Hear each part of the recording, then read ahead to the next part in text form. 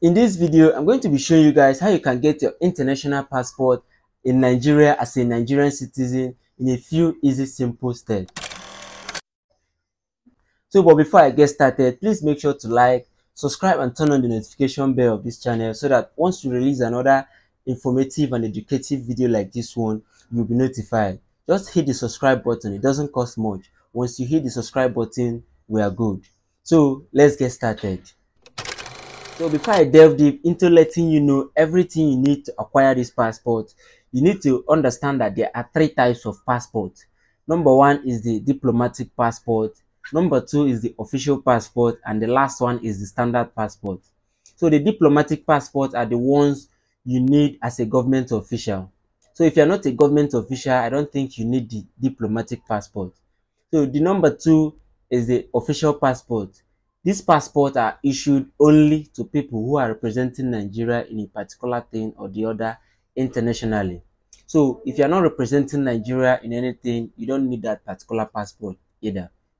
So the last one is the standard passport, the one you need as a citizen of Nigeria. So if you are going to study abroad, going for a business trip, going for a pleasure trip, any kind of trip you are going ab abroad, you need that particular passport, which is the standard passport.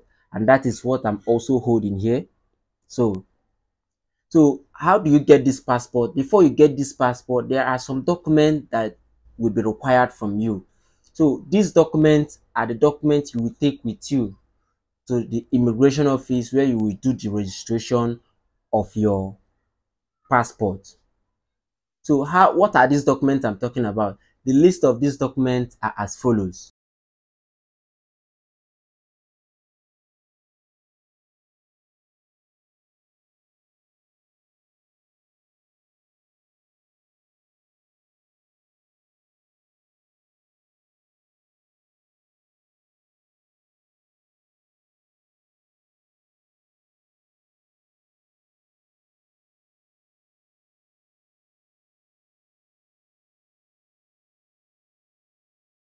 So if you've gotten all those documents as I just listed it there, then you are done with the first stage. The second stage is knowing the kind of passport you want. I mean, when it comes to standard passport, there are two kind of passport, which is the 32 pages and the 64 pages passport. Now, I know you might be wondering, what is the difference between the 32 pages and the 64 pages? Well, there is no much difference. The only difference there is the pages, as, as it's been said. So the 64 pages is for those who are frequent travelers. If you're a frequent travelers who are always on a business trip, frequently traveling from one country or the other, then you need the 64 pages.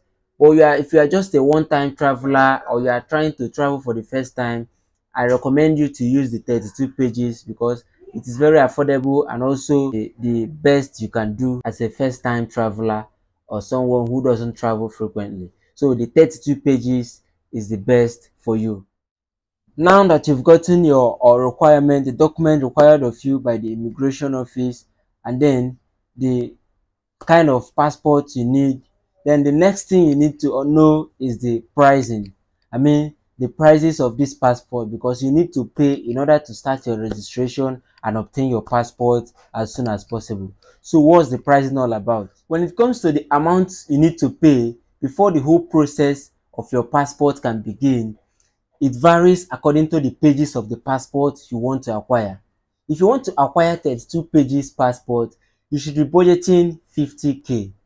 Yes, 50k. This is the amount you will need to use to get it as at 2023.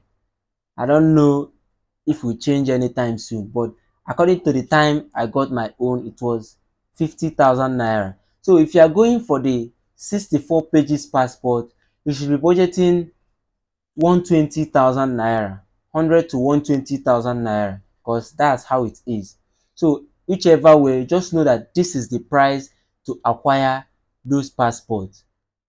Now that you've gotten your money and the required documents ready to process your passport, so the next thing you need to do is to locate any immigration office near you there are so many immigration offices in Nigeria in every state.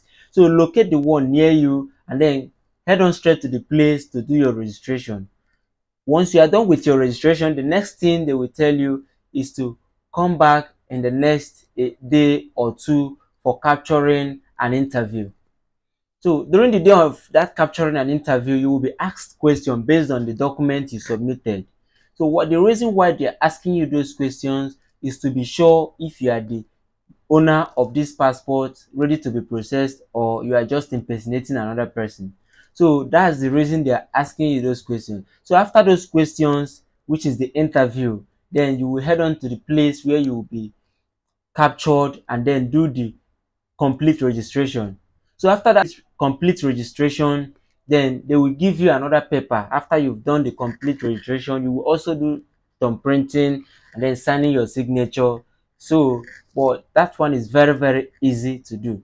So once they have done it, then they will give you uh, a, a, a piece of paper.